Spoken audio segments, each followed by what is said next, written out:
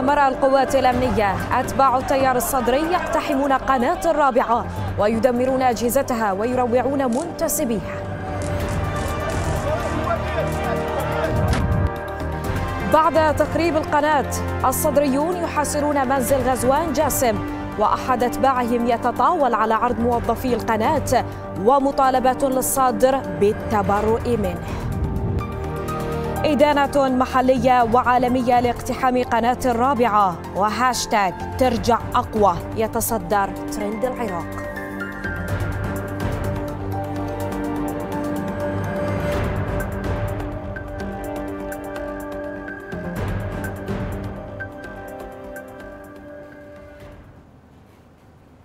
أهلا بكم في جولة إخبارية لقناة الرابعة. نؤمن بقدسية الخبر. نؤمن بالصوت الحر العراقي. نؤمن بأن الفكر ثري وسلطة الشعب واحدة. ولكن بعد هجمات وتخريب لا طائل له ولا رادع حتى من القوات الأمنية التي من المفترض أن تكون مكلفة بحماية الممتلكات العامة والخاصة لا أن يقول قائدهم نحن لسنا كذلك. ستعود الرابعة. كما هي والمنهج لن يختلف. فقد اعتادت على الطرح الموضوعي والمهني والمجرد من المجاملات على حساب العراق والعراقيين. السلامه لقناة الرابعة الغراء. السلامه لمنتسبي قناة الرابعة. مشاهدينا الكرام نعرض على حضراتكم الآن لقطات من الخراب والتدمير والاقتحام الذي تعرضت له قناة الرابعة على يد أتباع زعيم التيار الصدري السيد مقتدى الصدر. وكان ذلك بالتأكيد مساء الثلاثاء أي مساء أمس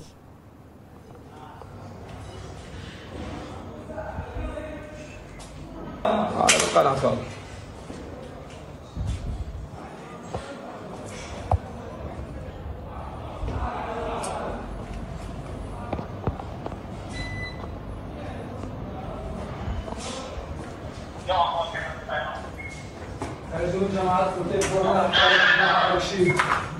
حتى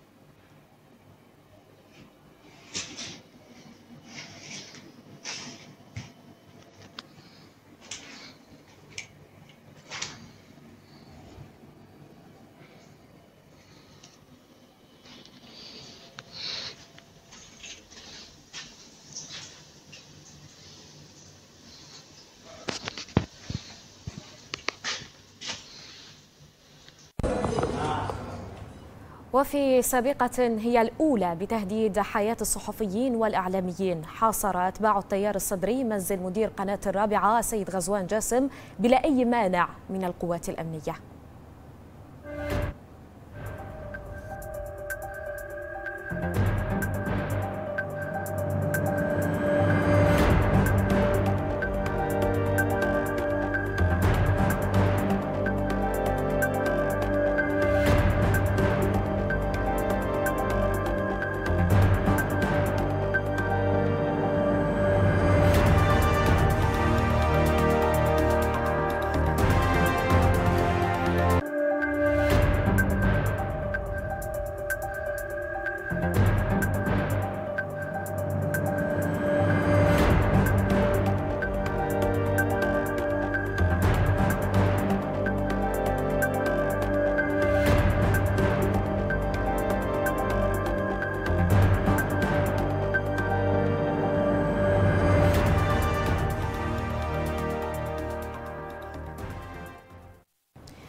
وبعد أن دمر أتباع التيار الصدري أجهزة قناة الرابعة وروعوا منتسبيها. أعلن زعيم التيار الصدري مقتدى الصدر براءته من القنوات والمضادات التي تنتمي للتيار الصدري بمنشور نقله من يعرف بوزير القائد. وقصر الصدر النشر الرسمي على ثلاث صفحات يحق لها نشر التوجيهات والإرشادات. هي صفحته الخاصة على تويتر وصفحة المكتب الخاص وصفحة وزير القائد ومصلح محمد العراقي. ومبينا أن كل ما عداه لا يمثل التيار كصفحة رسمية بل هي تعبر عن توجهاتها الخاصة والشخصية أو صفحات قال عنها إنها مضرة ومحرضة على العنف والفتنة من غير ذكر ما فعله أتباعه لممتلكات قناة الرابعة.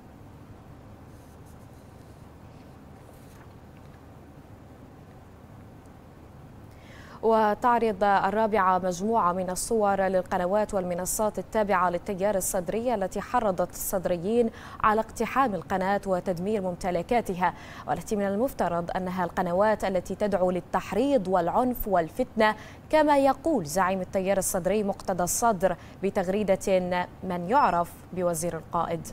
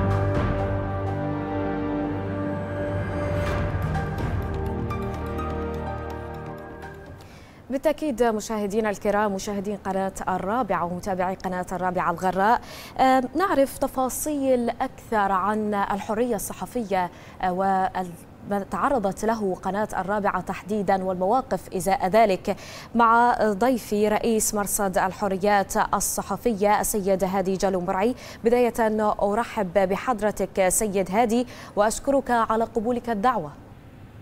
شكرا جزيلا.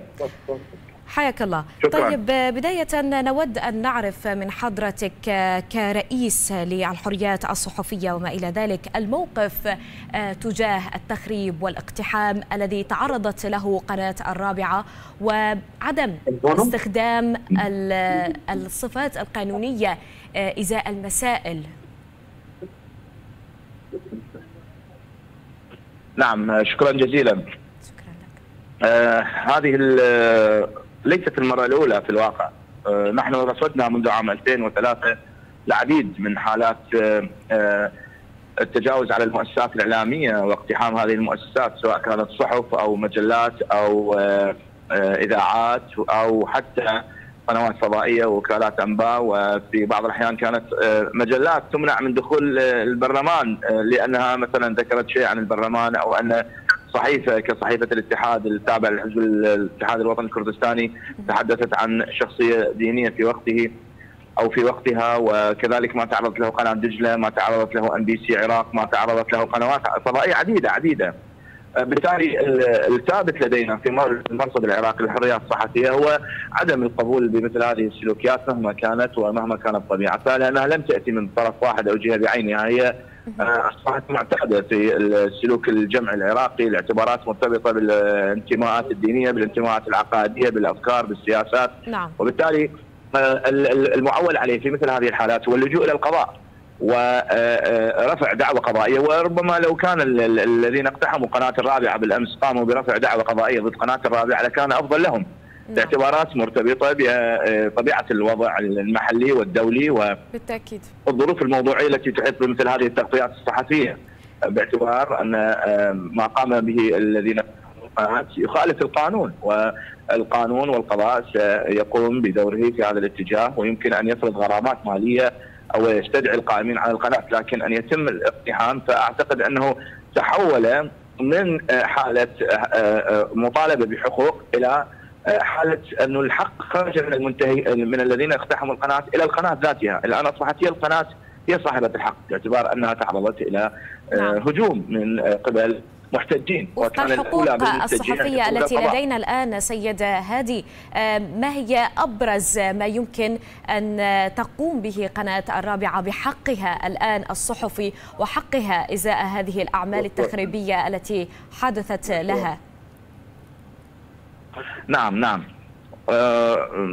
في مثل هذه الظروف طبعا واضح تماما أن هنالك اعتداء يعني قانونيا هنالك اعتداء وهنالك اقتحام للمكان هنالك تكسير المعدات الصحفية والأجهزة التي تستخدم في البث والتصوير والتسجيل والبث المباشر وهذا يتم طبعا حصره من قبل الأجهزة الرسمية الأمنية و أيضا في حال تم رفع دعوى قضائية من قبل إدارة القناة سيتم حصر الأضرار ورفع دعوى على جهة بعينها يعني لا نعرف من هي الجهة التي يمكن أن يتم الشكوى عليها لأنه لا توجد جهة رسمية راعية لهذا الاقتحام، هنالك مجموعة أشخاص غاضبين وقاموا باقتحام القناة، وبالتالي على إدارة القناة أن تحدد من هي الجهة التي ترعى هذا الاقتحام أو هل هي حددت أسماء أشخاص معينين لكي تقوم برفع دعوى قضائية عليهم؟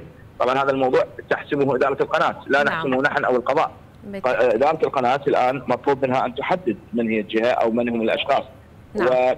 وبالتالي يتم رفع دعوى قضائية وحصر الاضرار وتقوم الجهات القضائية بتحديد الخسائر والاضرار وحجم التعويض المادي الذي يمكن أن يدفع للقناة. بالتأكيد. سيد هادي بسؤال أخير ربما أود أن أسأل حضرتك نعم. به.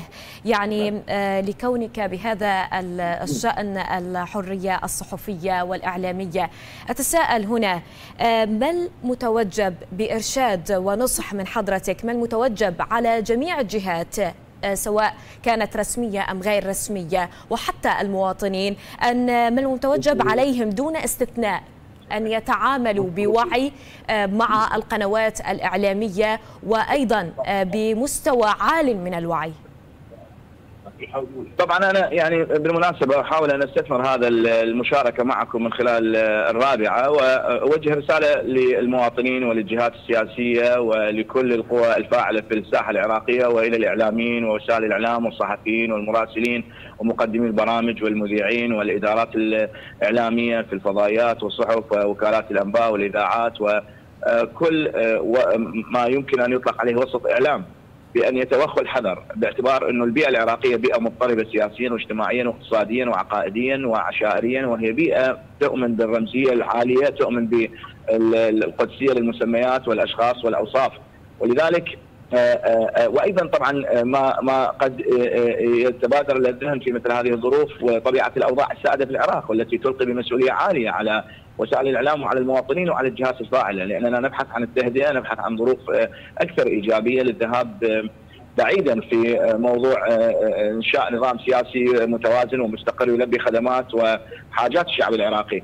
لذلك لابد من الحذر والهدوء في مثل هذه المواقف وعدم التسرع، عدم القيام بأفعال قد تتحول إلى أفعال غير قانونية وهذه رسالة إلى المواطنين العراقيين وإلى القوى الفاعلة في الدولة العراقية بأن تكون أكثر حذرا في مثل هذه الظروف وهدوءا وأيضا إلى وسائل الإعلام بأن ترعى طبيعة الثقافة العراقية السائدة والرمزية العالية لدى مسميات وأوصاف وشخصيات، اذا هي المسؤولية مشتركة بين وسائل الإعلام في الواقع وبين القوى الفاعلة والمواطنين، لا أحد يتنصل من المسؤولية، المسؤولية تقع على عاتق الجميع وليس وليس على جهة بعينها. طيب سيد هادي ربما يعني هذا نعم. يعتبر استنكار أيضا لما حدث لكون نقابة الصحفيين لم تستنكر هذه الحادثة. لا نقابة الصحفيين العراقيين تتواصل مع أكثر من طرف الآن باعتبار أن السيد نقيب الصحفيين مؤيد اللامي آه، مسافر لحضور اجتماعات اتحاد الصحفيين العرب في ال في ال في إحدى الدول العربية. والمجلس النقابه سيعقد اجتماع يوم الخميس المقبل الساعة الثانية ظهرا لمناقشة الموضوع لأن الموضوع أكبر من إصدار بيان في الواقع. هنالك إجراءات ستتخذ. سيتم التواصل مع بعض الجهات الفاعلة. وأيضا سيتم التواصل مع إدارة القناة وكذلك الجهات القضائية لتحديد الأولويات وكيف يتم معالجة مثل هذا الموقف لأنه هذه الظروف المعقدة والشائكة في الحالة العراقية تستدعي الهدوء والتروي قبل إصدار بيانات أو مواقف قد لا تكون ملائمة لطبيعة الوضع السائد في الدولة العراقية. نعم، اذا السيد هادي جلو مرعي رئيس مرصد الحريات الصحفية أشكرك جزيل الشكر لانضمامك إلينا ولهذه الأطروحات، شكرا لحضرتك.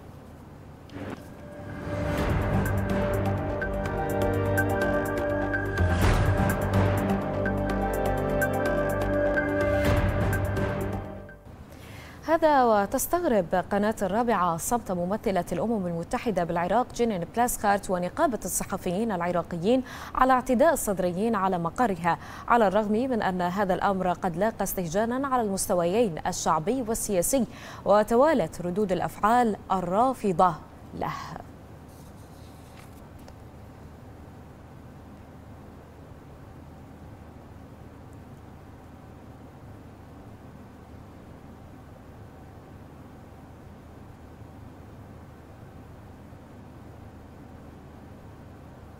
وبتصريح مستغرب أمام مقر قناة الرابعة وبهتك الأعراض الواضح. أحد أتباع التيار الصدري المعروف باسم الشيخ صفاء البغدادي يصف قناة الرابعة بأنها قناة عهر وأن العاملين فيها هم أرذل المجتمع العراقي.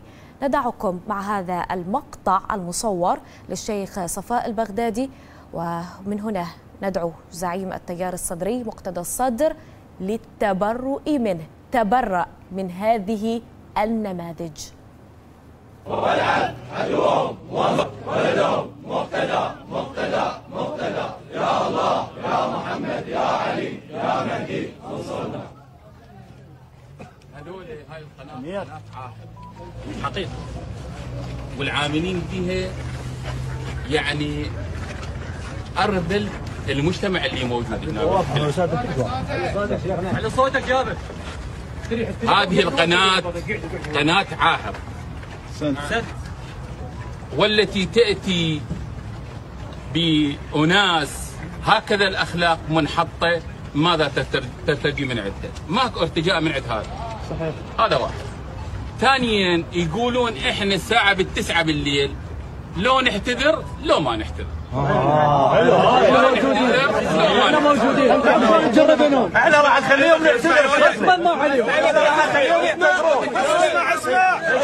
كمل كمل شيخ كمل أنا قلت لهم اذا ما تعتذرون فانتم خسرانين دنيا واخره إحنا بالنسبة لنا باقي ما عندنا حكيت أمر القوه عميد فاضل قلت له مولانا ادخل عليهم خلي يقدمون الاعتذار والناس هاي الدولة ليش شنو بيني بين تخلي هنا واقفه قال روحوا أنتم قلت إحنا ما نروح إحنا نبات هنا يوم يومين ثلاثة. ما عندنا كل اشكال كل إشكال ما عندنا. ما عندنا إحنا بالنسبة لنا مطالبنا معروفة. يقدمون اعتذار أهل جزاك الله خير. باقين ما يقدمون اعتذار إحنا ضالين على باقين لتسعة شيخنا أحسن. ضالين على هذا. وإحنا بخدمتك شيخنا. صلوا على محمد وآل محمد. اللهم صل على محمد وآل محمد.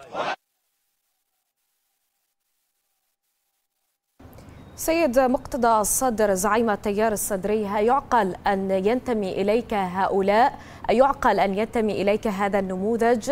لا أعتقد ذلك ولا يعتقد من يتبعك بأخلاقه. لذا نأمل منك أن تتبرأ فعليا من هذا النموذج ومن هذه النماذج للحد من هذه الأخلاق الغير أخلاقية. هذا وأصدرت جمعية الدفاع عن الصحافة بيانا عن حادثة اقتحام مبنى قناة الرابعة من قبل أنصار التيار الصدري مبدية استغرابها من عجز الحكومة حماية هذا الحق الدستوري. وقالت الجمعية إن سيطرة الأحزاب السلطوية والمجموعات المسلحة على الفضاء والمساحات الإلكترونية ومواقع التواصل الاجتماعي والإعلام والنشر بكل أشكاله يمثل جزءا من مشكلة قمع حرية العمل الصحفي في العراق ومنهجا مقصودا لتغييب الصحافة المستقلة وخنقها ومحاربة جميع الصحفيين الأحرار ممن واجهوا أقسى أنواع التهديد والملاحقة والاغتيالات من قبل المسلحين بهدف حماية حالة إبقاء سيطرة تلك الأحزاب السلطوية على هذا الفضاء. عد رئيس الوزراء المنتهي ولايته مصطفى الكاظمي الاعتداء على مؤسسة الرابعة وتهديد العاملين بها بأنه أعلى مستوى من التجاوز على القانون وحرية الصحافة. وقال الكاظمي في تغريدة إن ما حصل من اعتداء على القناة وتهديد أرواح العاملين بها هو فعل مستهجن ويمثل أعلى مستوى من التجاوز على القانون وحرية الصحافة ولا يندرج ضمن الممارسات والاحتجاجات السلمية والقانونية. وأضاف إنه وجه بمحاسبة الفاعلين وتجديد الحماية على المؤسسات الصحفية.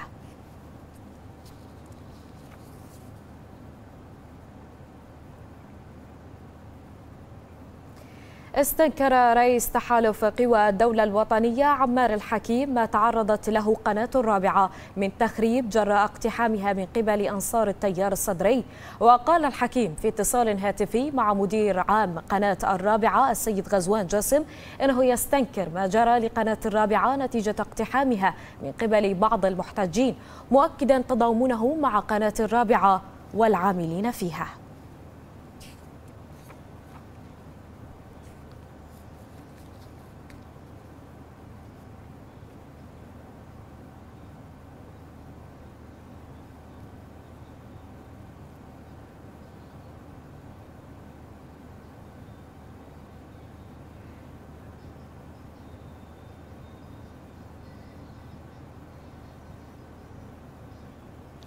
وعلى الرغم من لغة الخراب والتدمير تصدر هاشتاج الرابعة ترجع أقوى منصة تويتر في العراق بعد أن تعرضت للاقتحام من قبل أنصار التيار الصدري.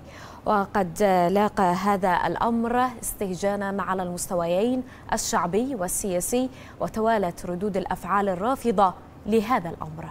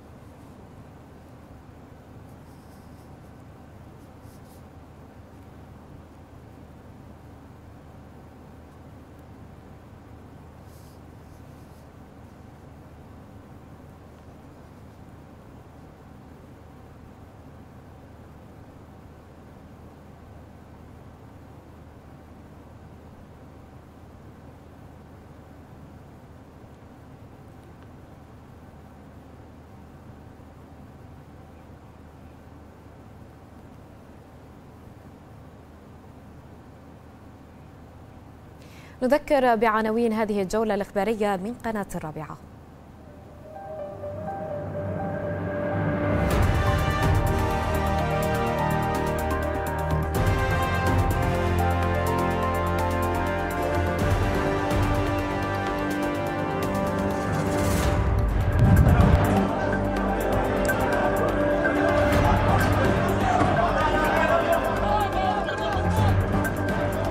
أمام مرأى القوات الأمنية أتباع التيار الصدري يقتحمون قناة الرابعة ويدمرون أجهزتها ويروعون متصليها.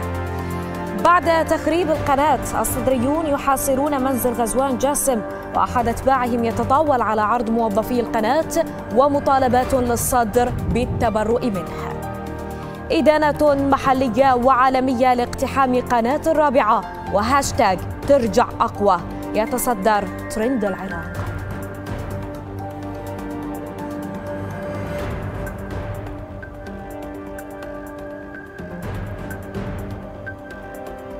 إننا لا ننتهي أبدا. نواصل بقوة ونرجع أقوى.